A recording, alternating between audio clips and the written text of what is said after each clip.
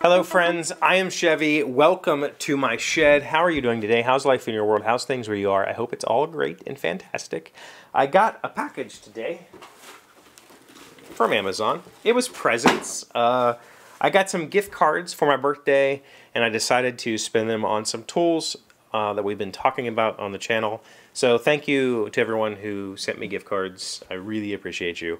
Um, and I've already done an unboxing and I attempted to do a review while I did that, but it was so bad that this is maybe the fifth time in the Daily Shed history that I'm just recording a whole new take.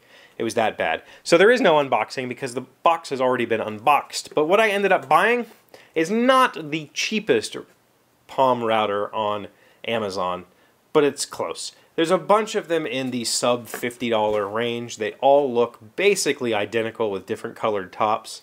I just picked the one that seemed to have the most sales and the most reviews that I could read through to try to get a feel for what I was buying. Um, it came in a no brand package with a no brand book and the router itself has no branding on it whatsoever. So I believe it's called a Koizel. I don't remember exactly, but I will put links to this in the description if you're interested in hearing about it.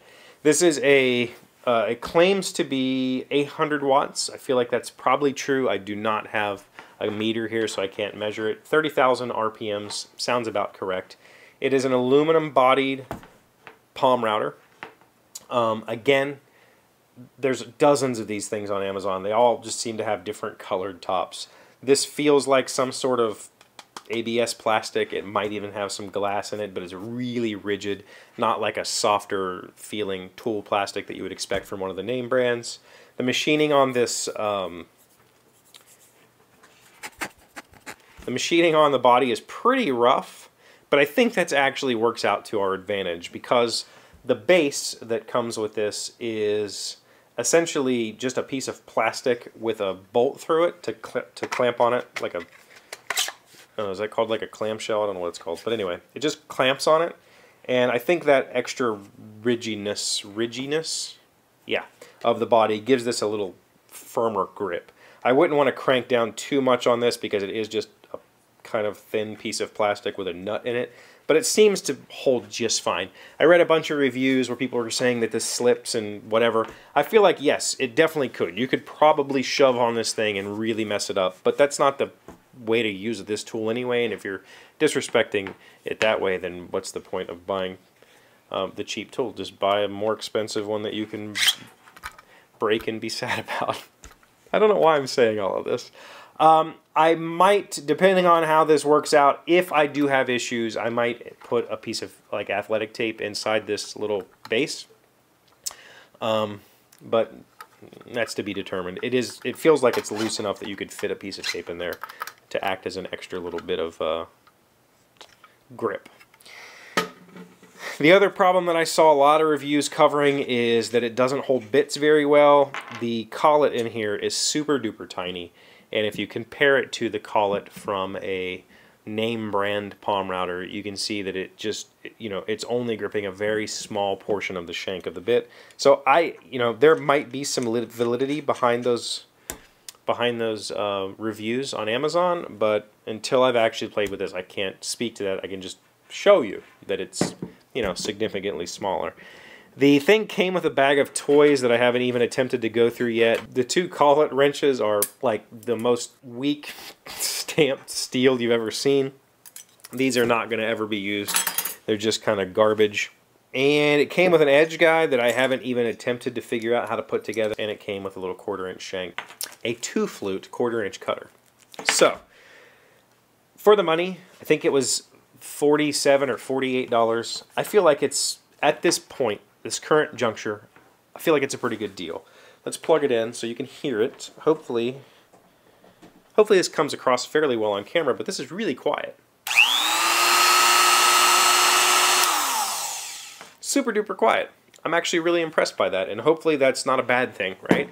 My, ju you know, just my little um, battery powered router is significantly louder. And of course, once I chuck a bit in it and start cutting it, you know, earmuffs are required, but I'm really impressed at how quiet it is.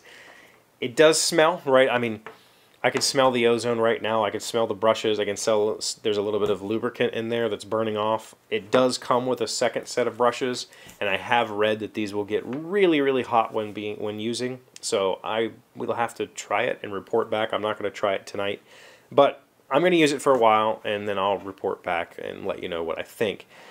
The other thing that I got, though, I'm actually more excited about, and that is a variable speed controller this box says it's a fan speed controller built to last. The side of it says it's a router speed control.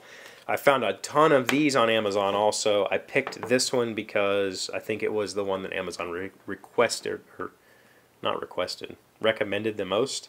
And I thought I'd give it a shot. The reason I'm excited about it is because all of these, again, just like the router on Amazon, these all look identical. And they all say they have three speeds, low, medium, and high. But this is actually a potentiometer. So there's this is just a dimmer, uh, almost the exact same thing as a dimmer in your wall. And it works pretty okay. Um, it's not going to dramatically slow this thing down. I don't have an RPM gauge, so I can't tell you, you know, where we're at. But that's on low. And then I can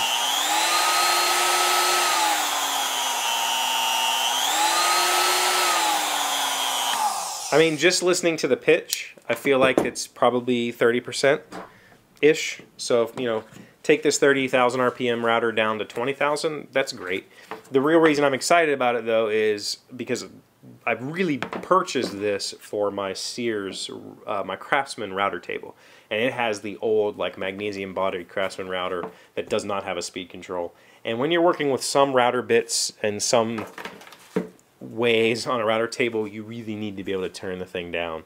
And hopefully I can keep from burning things, um, you know, especially like using the trim bit on, on hard maple, it'll burn. So hopefully I can turn this down a little bit and uh, avoid that. All in all, I'm pretty excited about the purchase. I feel like, you know, for my dream, we've talked about, I would love to have three or four of these. I would love to have them set up permanently with two different size roundovers, with maybe even a chamfering bit and a straight cutting patterning bit um, for doing tasks that I do all of the time just to be able to go zip zip zip done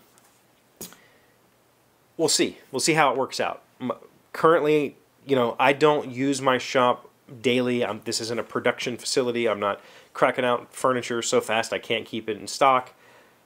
I think for somebody like me who's doing this on a paying hobby level where I'm going to be using this tool weekly, you know, sometimes for lengths of time, you know, where I've got to chamfer a whole bunch of things or round over a whole bunch of things, I think it's going to work out.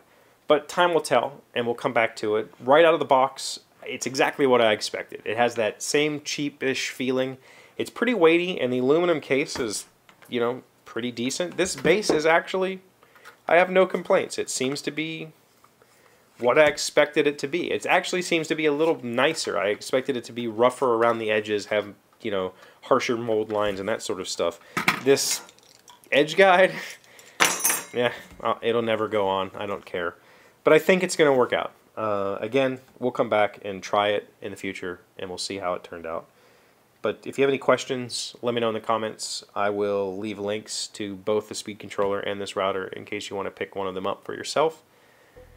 With that said, thanks for being here as always. Thank you for liking and commenting, subscribing, being amazing friends, and wonderful people. I really appreciate you. And I'll see you again tomorrow. Today's word you should know to sound smart is Epicurean. It is a noun meaning devoted to the enjoyment of good food and comfort. Mother's Thanksgiving meal at the Cape Cod compound was an annual Epicurean delight. Epicurean. E P I C U R E A N. I have I did not I've never heard that. I've always thought of like you know I know what a foodie is, but I didn't know there was like food and comfort tied together in one word.